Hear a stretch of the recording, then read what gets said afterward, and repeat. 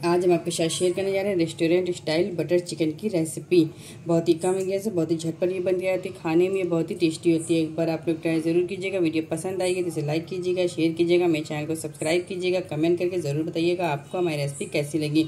आप इसको तंदूरी रोटी के साथ या फिर बटर के नान के साथ गर्मा गर्म सर्व कीजिए, बहुत ही मज़े के लगते हैं खाने में, बहुत ही टेस्टी होते हैं। चलिए देख लेते हैं हमने इसको कैसे बनाया है। बटर चिकन बनाने के लिए यहाँ पे हमने वन के जी चिकन लिया है।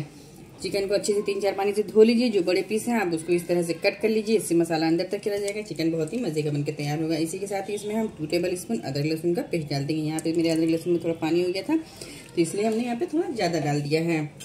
इसी के साथ ही इसमें हम नमक डाल देंगे। नमक यहाँ पे हम वन टी स्पून डाल रहे हैं। आप उतना ही डालिएगा जितना आपका चिकन हो, आप उस हिसाब से ही इसमें नमक डाल दीजिएगा। इसी के साथ यहाँ पे हमने एक नींबू का रस लिया स्पून से लेंगे तो यहाँ टू टी स्पून जो है नींबू का रस हम डाल देंगे। हाफ़ टी स्पून यहाँ पे हम पीली वाली लाल मिर्च डाल देंगे, ये थोड़ी तीखी होती है, और वन टी स्पून इसमें हम कश्मीरी लाल मिर्च पाउडर डाल देंगे, ये बिल्कुल भी तीखी नहीं होती, सिर्फ़ इससे कलर अच्छा आता है, और क्वार्टर टी स्पून इसमें हम हल्दी पाउडर डाल देंगे। इसमें हम गरम मसाला पाउडर डाल देंगे। इसी के साथ ही हम यहाँ पे दो से तीन टेबल स्पून इसमें हम दही डाल देंगे। यहाँ पे दही बहुत ज़्यादा नहीं जाएगी। आप थोड़ा ही दही डालिएगा। नहीं तो दही हमारा पानी छोड़ देती है, फिर इससे हमारे मसाले जो हैं अलग हो जाते हैं। और इसी के साथ ही यहाँ पे हम दो पिंच फ़ूड कलर डाल देंगे। ये ऑप्शनल है, लेकिन इसे डालने से कलर बहुत ही अच्छा आता है बटर चिकन का। अब सभी चीज़ों को हमें हाथों की मदद से अच्छे से मिक्स कर लेना है। मिक्स करने के बाद आधे घंटे के लिए हम इसको इसी तरह से रख देंगे। इधर हमने चिकन को अच्छे से मैरिनेट कर दिया है, अब इसको हम कवर कर देंगे और कवर करके इसको आधे घंटे के लिए हम साइड रख देंगे। और चलिए, अब तक हम इसके आगे की तैयारी कर लेते हैं। इधर हमने कढ़ाई चढ़ा दी है, इसमें हम यहाँ पे दो से तीन टेबल स्पून ऑयल डाल देंगे। आप कोई भी बर्तन चढ़ा सकती हैं, जिसमें आप बनाना पसंद करेंगे। इस तरह से तेल डाल देना है, तेल को हमें अच्छे से गर्म कर लेना है। इसी के साथ ही हम यहाँ पे एक टेबल स्पून इसमें बटर डाल देंगे। बटर को हमें अच्छे से मेल्ट कर लेना है। बटर हमारा जले ना बटर हमारा अच्छे से मेल्ट हो गया, तेल हमारा गर्म हो गया। इधर हमने दो मीडियम साइज़ की प्याज ली थी, जिसको हमने इस तरह से स्लाइसेस में कट कर लिया था। आप इसको रफली चॉप भी कर सकते हैं। फ्लेम को हमने हाई रखा हुआ है। हाई फ्लेम पे हमें इसको सॉफ्ट होने तक के अच्छे से सोते कर लेना है। इधर हमने एक मिनट तक अच्छे से प्याज को सौते कर लिया। आप देख सकते हैं हमारी प्याज हल्की हल्की से सॉफ्ट होने लगी। इसी के साथ ही यहाँ पे हमने पाँच से छः लहसुन लिए हैं और एक टुकड़ा अदरक का लिया है जिसको हमें इसमें डाल देना है। डाल के इसको भी प्याज के साथ ही हमें इसको भी सॉफ्ट कर लेना और इसी के साथ ही हम यहाँ पे कुछ खुशबूदार मसाला डालेंगे, जिसमें हमने एक टुकड़ा दलचीनी का लिया है। चार छोटी इलायची लिए थोड़ा सा जायफल लिया है और जावेत्री का एक टुकड़ा लिया है। जायफल आप थोड़ा सा ही लीजिएगा, एक इंच भी इतना ले लीजिएगा। डाल के हम इसको सॉफ्ट होने तक के अच्छे से प्याज हमारी सॉफ्ट हो गया अदर लहसुन वगैरह लिए हमारे सॉफ्ट हो जाए हम इसको हाई फ्लेम पर अच्छे से चलाते हुए सौते करेंगे। इधर हमारी प्याज भी अच्छे से सॉफ्ट हो चुकी है। यहाँ पे हमने चार टमाटर लिए मीडियम साइज़ के। इसको हमने स्लाइसेस में कट कर लिया हमें इसको डाल देना है। इसमें टमाटर जो है ज़्यादा ही जाते हैं, इसलिए यहाँ पे अब जो है चार टमाटर में देखिए आपको और पसंद है आप और भी डाल सकती हैं। इसी के साथ ही यहाँ पर एक मुट्ठी हरा धनिया हमें डाल देना है। और यहाँ पे 10 से 12 हमने साबुत काजू लिए हैं। इसको हमें डाल देना है। अगर आपके पास जो है भुजे हुए काजू हैं तो आप बीस से पच्चीस ले सकती हैं। इसी के साथ ही इसमें हाफ़ टी स्पून हम नमक डाल देंगे। डाल के सभी चीज़ों को हमें अच्छे से मिक्स कर लेना है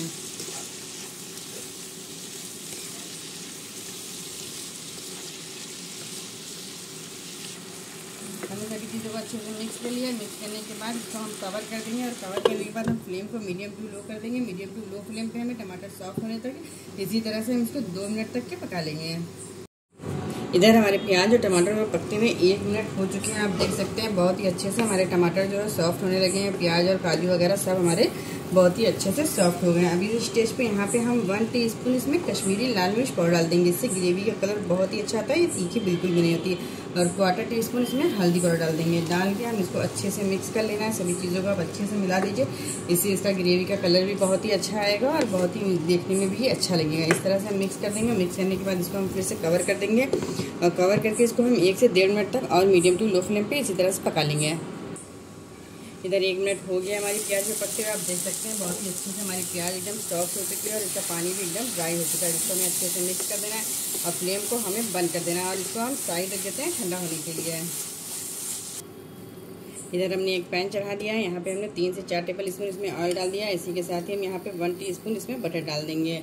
बटर हमारा अच्छे से मेल्ट हो जाए फ्लेम को यहाँ पे हमने हाई रखा हुआ है बटर हमारा जलने ना पाया। अब जो हमने अपने चिकन को मेरीनेट करके रखा हुआ था, हम एक एक पीस इसमें इसी तरह से अरेंज कर देंगे। हमें सभी पीसों को इसमें इस तरह से लगा देना है और फ्लेम को हमें यहाँ पे हाई रखना है। हाई फ्लेम पे ही सब चिकन को लगाइएगा, नहीं तो चिकन हमारा पानी छोड़ देगा तो इसमें से मसाले वगैरह निकल जाएँगे तो ये हमारा अच्छा नहीं लगेगा खाने में। इसी तरह से हम इसमें सब चिकन अरेंज कर देंगे।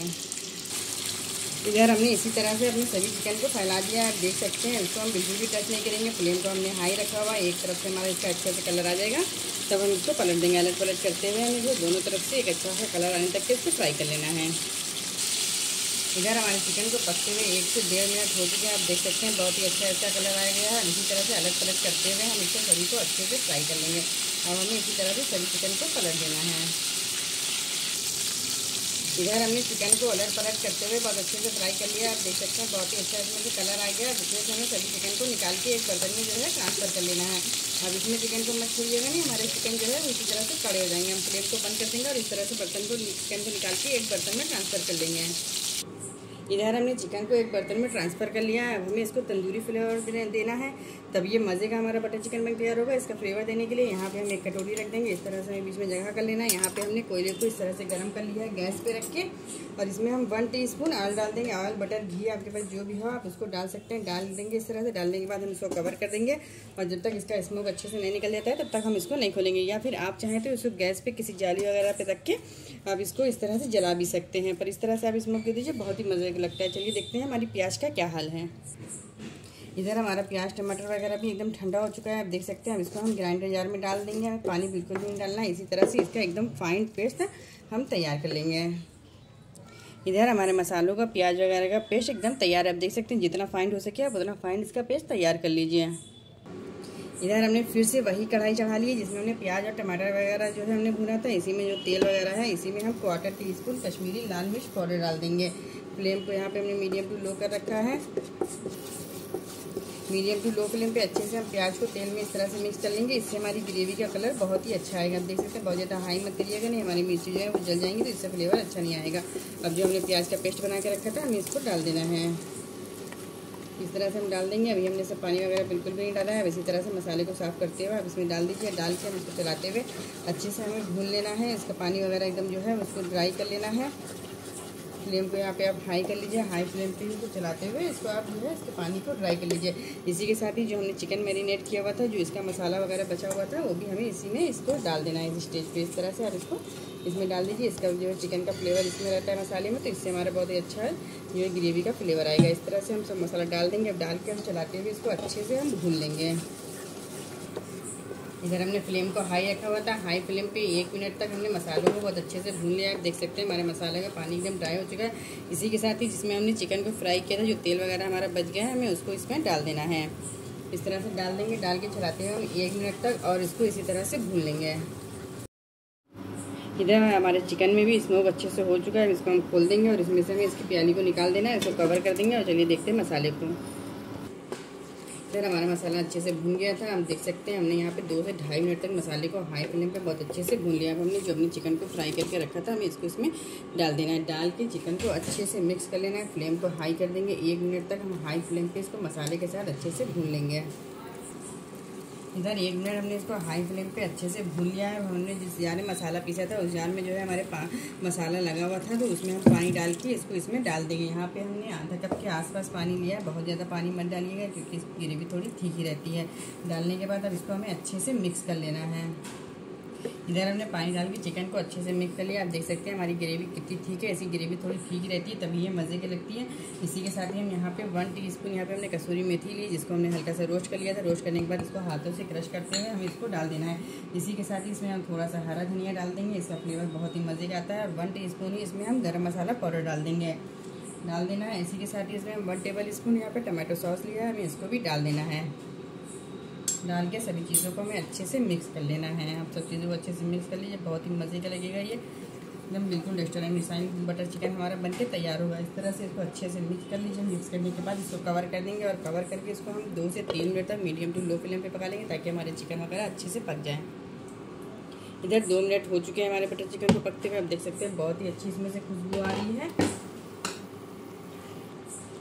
साथ ही। अब इसमें यहाँ पे हमने एक कप अमूल की फ्रेश क्रीम ली थी। हमें इसको इसमें डाल देना है। अगर आपके पास अमूल फ्रेश क्रीम नहीं है तो आप इसकी जगह पे एक कप दूध की मलाई भी ले सकते हैं। आप उसको लेके आप उसको भी डाल सकते हैं। इसी तरह से हमें डाल देना है। डाल के इसको अच्छे से मिक्स कर देना है। इसी के साथ ही इसमें हम वन टेबल स्पून इसमें बटर डाल देंगे। इसी स्टेज पर आप बटर डाल दीजिए तो बहुत ही बटरी सा इसका टेस्ट आता है और बहुत ही मज़े का लगता है खाने में। और थोड़े से धनिया पत्ते हम इस टाइम फिर से इसमें डाल देंगे। डाल के हम इसको अच्छे से मिक्स कर लेना है। मिक्स करने के बाद इसको फिर से हम कवर कर देंगे और कवर करके इसको हम एक से डेढ़ मिनट तक इसको और मीडियम टू लो फ्लेम पे इसी तरह से पका लेंगे। इधर दो मिनट हो चुके हैं हमारे बटर चिकन को पकते हुए। आप देख सकते हैं कितना ही अच्छा इसका कलर आया है, कितनी अच्छी सिल्की और स्मूथ ग्रेवी के साथ ये बन के तैयार हुई है। बहुत ही मज़े की लगी एक बार आप लोग ट्राई ज़रूर कीजिएगा। हम फ्लेम को बंद कर देंगे और इसको इसी तरह से गर्मा गर्म सर्व कर लेंगे। देख सकते हैं, बहुत ही रिच और एकदम स्मूथ ग्रेवी सा भी बन के तैयार होता है। खाने में ये बहुत ही मज़े का लगता है। एक बार आप लोग ट्राई ज़रूर कीजिएगा वीडियो पसंद आएगी तो इसे लाइक कीजिएगा शेयर कीजिएगा, मेरे चैनल को सब्सक्राइब कीजिएगा कमेंट करके ज़रूर बताइएगा आपको हमारी रेसिपी कैसी लगी। एक बार आप लोग ट्राई ज़रूर कीजिएगा। फिर इसको हमने इस तरह से क्रीम के साथ और थोड़े से हरा धनिया के साथ हम इसको गार्निश कर देंगे और इसी के साथ ही इसमें हम वन टीस्पून इसके ऊपर हम बटर डाल देंगे।